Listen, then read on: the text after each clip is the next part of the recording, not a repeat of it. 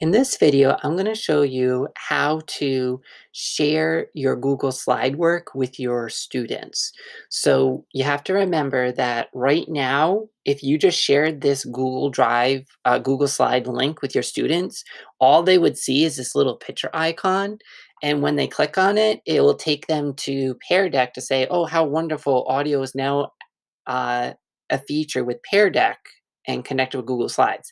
It won't have your audio recording. You have to send a Pear Deck link to your students. And then when they click on that link, they will see this Google slide and all the Pear Deck links will work for them. So the way you do this is you have to, once in your Google slide, click Start Lesson. And then right here is just asking you if you want the students to control the pace that they can go to, through the slides on their own, or is it instructor pace like you're doing a live lesson and you don't want the kids jumping around? This is an activity where the kids are going to do this at their own pace. Now, in a second, right now it's taking me to the teacher dashboard. In a different video, I'll explain what the teacher dashboard is. So uh, it's just going to pop up and say what you can do here. We don't need to worry about that because this is, we're sending a link to our students to do at their own pace. So I'm going to skip this part. And the next screen that pops up, it says, here's where you can assign the students the homework. So I have the option to copy the link, which means for me to take it and put it on other platforms like Schoology or Seesaw or Class Dojo, or you can send it through Remind. Um, or if you're using Google Classroom, then you can share it to Google Classroom. Let's look at how to add this as a homework assignment to, into Google Classroom. So I'm going to click on Share to Google Classroom. And a window is going to pop up on the side here.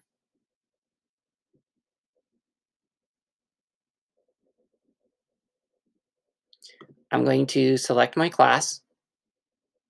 I'm going to choose an action. So this is just going to be, I'm going to create an assignment. And I'm going to click Go. Then I'm going to put in the information. So um, collage art project.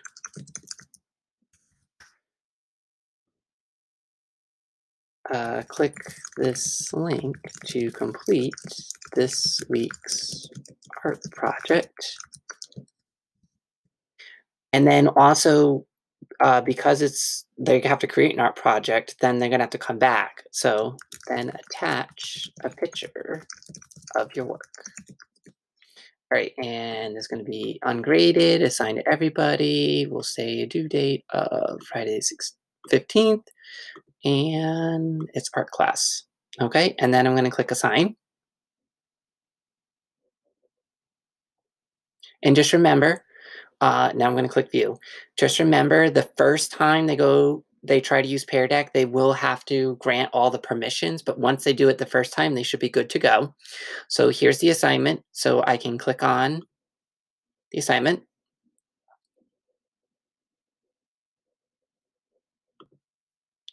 So this is always pops up as an option. You might be able to turn it off in settings. And then when I have to move my window out of the corner here. I'm going to have to close my window.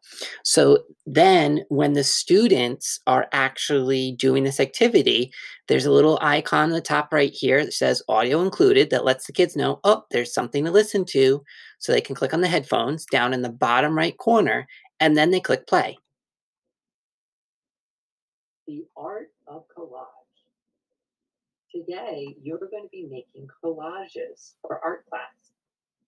On the next slide, Mrs. Kohiri will give the directions. I'm not going to play the whole thing, but now you get the idea. So then after this slide, then they would go to the next slide.